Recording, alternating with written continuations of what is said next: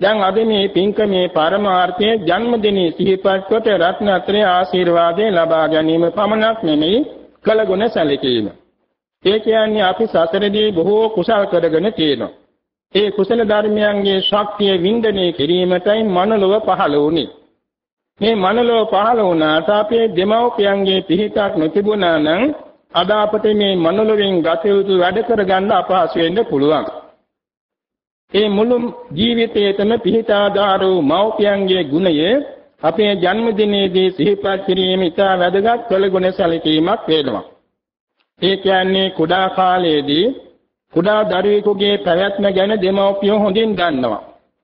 එතකොට මේ කුඩා දරුවාගේ පැවැත්මේදී දෙමව්පියන්ගේ පිහිට නොලැබුණා නම් දෙවි කෙනෙක් එහෙම නෙමෙයි පිහිට වෙන්නේ. වෙනත් පිටස්තර කෙනෙක් නෙමෙයි පිහිට වෙන්නේ වෛද්‍යවරු පමණකුත් නෙමෙයි පිහිට වෙන්නේ. පිහිට වෙනවා නම් වෙන්නේ දෙමව්පියෝ දෙන්න පමණයි. ඒ දෙමව්පියෝ දෙන්නාගේ පිහිට නිසා අද අපි නිරෝගී දෑතක්, නිරෝගී දෙපයක්, නිරෝගී ජීවිතයක් ඇතුව හොඳ මානසික ශක්තියක් ඇතුව දෙලව තේරුම්ගෙන සුගතියට නිවනට අනුව කටයුතු කිරීමට වාසනාවන්තව සිටිනවා. එනිසා අපට පූර්වෝපකාරී වූ මේ මෞපියන් සිහිපත් කිරීම මේ ජන්මදින පින්කම් වලදී විශේෂම අරමුණක් වෙනවා.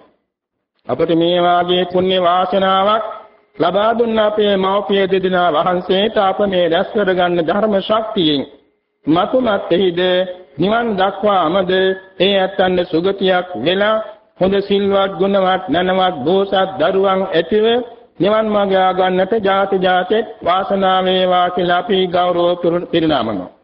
ඒ වගේම මේ ආනිසංස වශයෙන් මතුමත්ේ නිවන් දකින්නතුරු හොඳ සිල්වත් ගුණවත් නැනවත් බෝසත් දෙමෝපියන් ලබන්න හේතු වෙනවා. එපමණක් නෙමේ සරුවක්ඥන් වහන්සේ දේශනා කළා තියෙන මීත ආනිසංස 22ක්. මිත්තානිසංස සූත්‍රයේදී තේමී ජාතක දේශනේ සම්බන්ධව මිත්‍යානිසංස සූත්‍රයේදී කරුණු 22ක් දේශනා කළා තියෙනවා මේ ගරු කිරීමේ ආනිසංස වශයෙන්. පහෝත භක්ඛෝ භවති විප්පවුත්තෝ සකාඝන බහූනං උපජීවන්ති යෝ මිත්තානන්න දුබති. ඒ දෙමෝපියන්ට ගුරු උතුමන්ද වැඩිහිටියන්ද උපකාර කළ උතුමන්ද? කළගුණ සැලකීමේ හේතු කොටගෙන තමන් යන යන තැන කවදාකවත් කුසගින්නේ ඉන්නේ නොවේ. කුස පුරා ආහාර පාන ලබන්නේ වෙනවා. මේක එක ආනිසංශයක් බහූනං උපජීවಂತಿ. තමා වගේම කළගුණ දන්න සත්පුරුෂයන්ගේ ආශ්‍රය තමන්ට ලැබෙනවා. මේකත් විශේෂ ආනිසංශයක් කළගුණ සැලකීම. යං යං ජනපදං යාති නිගමේ රාජධානියෝ සබ්බත පූජිතෝ හෝති යෝ මිත්තානන්න දුබති යම් ජනපදයකට ගමකට රාජධානියකට යනවා නම් ගිය ගිය තැන මේ කළගුණ දාන්න දෙමව්පියන්ගේ සැලකූ දරුවන්ද හැම දෙනාගේම ගෞරවය ආදරය භක්තිය ඇතුව පිළිගැනීම සිද්ධ වෙනවා. මේකත් කළගුණ සැලකීමේ විශේෂානුසංශය මාසචෝදා පසහන්ති නාති මඤ්ඤේති කතියෝ සබ්බේ අමිත්තේ තරති යෝ මිත්තානන්න දුබති ඒ මේ කළගුණ දන්න සත්පුරුෂයන්ට සොරුන්ගෙන් පීඩාවක් වන්නෙම නැත. යම් විදියකින් සොරෙක් සතුරෙක් ආවත් ඔවුන්ගේ හිත උණු වෙලා ඒ කරදර නොකර ඉවත් වෙනවා. ඒකත් විශේෂ ආනිසංසයක්. එවැගේම රජදරුවන්ගෙන් පීඩාවක් වන්නේත් නැත. ඔවුන්ගෙන් අධික ලෙස ආදායම් බදු අය කිරීම, එවැගේම දණ්ඩ නීති පැනවීම ආදී මොනවාක්වත් සිදුවන්නේ නැහැ රජදරුවන්ගෙන්. ඒකත් කළගුණ සැලකීමේ ආනිසංසයක්. එවැගේම සබ්බේ අමිත්තේ තරති Tamanda පසමිතුරු ඇත්තෝ ඉන්නවා නම් ඒගොල්ලෝ ඔක්කොම පස්සට යනවා. කළගුණ සැලකීමේ ආනිසංස ඇති පුණ්‍යවන්තයාගෙන් ඈත් වෙනවා පසමිතුරු. එයත්න්ගෙන් සතුරන්ගෙන් උපද්දරයක් වන්නේ නැහැ. මේකත් කළගුණ සැලකීමේ විශේෂ ආනිසංසයක්. අක්ඛුද්ධෝ සගරං ඒතේ සබාය පටිනන්දිතෝ ඥාතිනං උත්තමෝ හෝති යෝ මිත්තානන්න දුබති. කළගුණ දන්න දරුවන් යම්කිසි රාජකාරියක් අවශ්‍ය කටයුත්තක් සඳහා නිවසින් පිටත් වී ගියා නම් සතුටු මොහොනින් ආපහු එන්නේ. ගිය ගියේ කාරණිය හැම විදිහෙම ඉෂ්ට සිද්ධ කරගෙනයි ආපහු එන්නේ. කවදාකවත් දුර්මුඛ වෙලා අර්ථ භංග වෙලා එන්නේ නැහැ. තමාගේ කාරණේ ඉෂ්ට සිද්ධ කරගෙන බොහෝම සතසේ මේ සතුටු මොහොනින් ගෙදරෙන්න වාසනාව වේදවා. ඒකත් කළගුණ සැලකීමේ ආනිසංසයක් ගිය ගිය කටයුත්ත ධාර්මික කටයුත්ත සාර්ථක වෙනවා. සභාවකට ගියා නම් හැම දෙනාගේම ගෞරව ආදරෙන් පිළිගැනීම සිද්ධ වෙනවා. ඒකත් කළගුණ සැලකීමේ ආනිසංසයක්. නෑදෑයන් මැද්දට ගියාම නෑදෑයන් අතර සියල්ලන්ට වඩා බොහෝම සම්භාවනීය බබලන කෙනෙක් වෙනවා. මේකත් කළගුණ සැලකීමේම ආනිසංසයක්. එවැගේම සක්කත්තා සක්කතෝ හෝති ගරු හෝති සගාරෝ වන්න කිත්තිබතෝ හෝති යෝමිත්තානන්න දූපති කලගුණ දන්න දරුවන්ට කලගුණ සැලකීම නැමැති සත්කාරය නිසා තමන්ද සත්කාර ලබන්නේ වෙනවා තමන්ගේ දරුවන්ගෙන් තමන්ගේ සේවක සේවිකාවන්ගෙන් තමන්ගේ නෑදෑයන්ගෙන් තමන්ගේ හිතමිතුරන්ගෙන්ද සත්කාර ලබන්නේ වෙනවා තමන් දෙමාපියන්ගේ සැලකීමේ ගරුත්වය දිනු කරපු නිසා තමන්ට අනිවාර්යෙන් ගෞරවය පිරිනැමෙනවා. එවැගේම තමන්ගේ ගුණ කීර්තිය වන්න කෙත්තේ ගුණ වර්ණාව ගුණ කීර්තිය දස අත පැතිරෙනවා කළ ගුණ සැලකීමේ ආනිසංසය. පූජකෝ ලබතේ පූජං වන්දකෝ ප්‍රතිවන්දනං යසෝ කිත්තිංච පප්පෝචේ යෝමිත්තානන්න දුබති. දෙමෝපියන් ගෞරව කිරීම මහා පූජාවක්. ඒ පූජාව කිරීම නිසා තමන්ද පූජා සත්කාර ලබන්නේ වෙනවා. තමන් දෙමව්පියන්ට වැඳුම් පුදුම් කළ කෙනෙක් බැවින් තමන්ටත් අනිවාර්යෙන් වැඳුම් පුදුම් ගලාගෙන එනවා. ඒ වගේම යසෝ කිත්තිංච පාපෝති. යසසට යසස කියන්නේ බොහෝම හැමදෙනාගේ විශ්වාසවන්තව ආශ්‍රයයට පැමිණෙනවා පිරිවර සම්පත්තිය වැඩි වෙනවා කීර්තියේ ගුණභාවය පැතිරෙනවා. මේකත් කළගුණ සැලකීමේ ආනිසංශයක්. අග්ගියතා පජ්ජලතේ දේවතාව විරෝචති සිරියාජහිතෝ හෝති යෝමිත්තානන්න දූපති මේ දෙමෝපියන්ගේ සලකන කළගුණ දන්න සත්පුරුෂයන්ට තමන්ගේ ජීවිතයේ ගිනි කඳක් වාගේ දිලිසෙන ජීවිතයක් ඇති කෙනෙක් බාටපත් වෙනවා ඒ වගේම දේවතා කෙනෙක් වාගේ ශ්‍රී සම්පත්තියෙන් නොපිරිහෙන්නේ කියනවා දෙවියන් කවදාකවත් වාසයට ගින් පෙනුමක් ඇති වෙන්නේ නැහනේ දෙවිය හැමදාම උපන් වගේම තමයි යාරු ලක්ෂ ගණන් කෝටි ගණන් එක විදිහට ඉන්නවා. ඒ වාගේ තමන්ගේ ශ්‍රී සම්පත් පිරිහෙන්නේ නැති කෙනෙක් බාටපත් වෙනවා මේකත් කළගුණ සැලකීමේ ආනිසංස දෙකක්. ගාමෝතස්ස පජායන්ති කෙත්තේ මුත්තං විරුහති තුත්තානම් පලමස්නාති යෝමිත්තානන්න දූපති. එවැගේම කළගුණ දැනීම සැලකීම නිසාම ගව සම්පත්තිය බෝ වේදවා. ඒ කියන්නේ ගවයන්ගෙන් ලැබෙන්න තියෙන ප්‍රස්ගෝ රසය වැඩි වැඩියෙන් ලැබෙනවා ගවයන්ට කවදාකවත් ලෙඩක් දුකක් නැතුව ගවයන් පමණක් නෙමෙයි ඇතුම් අසුම් ගවයන් මහිෂයන් ආදී වශයෙන් මිනිසයන්ට ප්‍රයෝජන වෙන සත්ව වර්ග ඉන්නවා නම් ඒ වාගේ ඵල ප්‍රයෝජන වැඩි වෙනවා. බෝ වීම වැඩි වෙනවා. ඒකත් ආනිසංසයක් ඒ වගේම වතු කුඹුරු පිටි ආදීෙහි නිසිසේ අස්වැන්න ලැබෙන ආදායම් ලැබෙනවා. කුඹුරු තියනවා නම් ඒවට හානියක් නැතුව වැඩි වැඩියෙන් ආශ්‍රයන නිලා ගන්න ලැබෙනවා. වෙනත් වෙනත් ගොවි පොළවල් වගාවල් තියෙනවා නම් කුඹුරු මේ කියන්නේ පොල් වගාව, රබර් වගාව, කුරුඳු වගාව ආදී නොයෙක් ආදායම් ක්‍රම තියෙනවා නම් ඒවායේ ඵල ප්‍රයෝජනයේ වැඩි වෙනවා. ඒකත් කළගුණ සැලකීමේ ආනිසංශයක්. සුත්තානම් ඵලමස්නාති එවාගෙම නිරෝගී පුණ්‍යවන්ත ඥානවන්ත දරු සම්පත් ලැබෙනවා. ඒ දරුවන්ගෙන් අපෝපකාර නිසසේ සැලසෙනවා. මේ කළගුණ සැලකීමේ ආනිසංශයක්.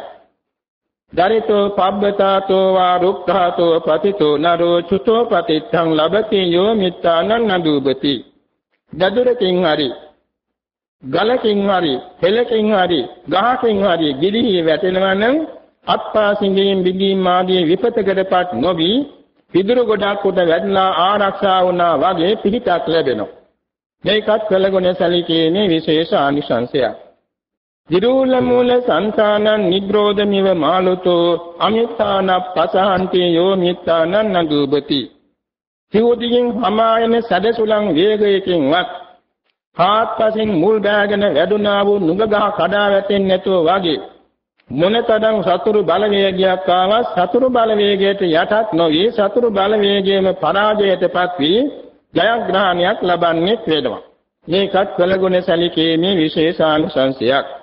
මේ දෙයට මේ ජන්මදිනය ගැන සිහිපත් කිරීමේදී මෞපියන් කෙරෙහි මේ පින් පැමිණවීම හා ගෞරව කිරීම වශයෙන් කරන මේ කළගුණ සැලකීම නිසා තමන්ට මේ ජීවිතයේ නිවන් දකින අතුරුත් මේ විසුද්ධතාකෝ මහා ආනිසංස වින්දනය කරන් ලැබෙන බව නිත්‍යානිසංස සූත්‍රයේදී සරුවක්ඥන් වහන්සේ දේශනා කළා තියෙනවා. ඒ අනුව සලක බැලීමේදී අප විසින් කලේ පිතා මුසා සංග්‍රහය තමයි ජන්මදිනයේ නිමිත්තෙන් කළ ගුණ සැලකීම වශයෙන් දෙමව්පියන්ගේ පින් පැමිණවීම. ජීවත් වෙනවා නම් මොනතරම් සැලකිල්ලක් දක්වනවද? මේ පල්ලෝ ගියාට පසුව කළ යුතු එකම දේ තමයි තමන් සීලාදි ගුණ පූර්ණේ කරමින් දාන ආදී කුසලයක් කරමින් ඒ දෙමව්පියන්ගේ සුගති මඟ නිවන් මඟ ප්‍රාර්ථනා කරමින් ප්‍රාපිදාන සීර්ෂෙන් පින් පැමිණවීම. සරුවඥන් වහන්සේ තරම් මේ කළගුණ සලකූ කෙනෙක් ලෝක ධාතුවේ නැත කිව්වොත් ඒක නිවැරදි.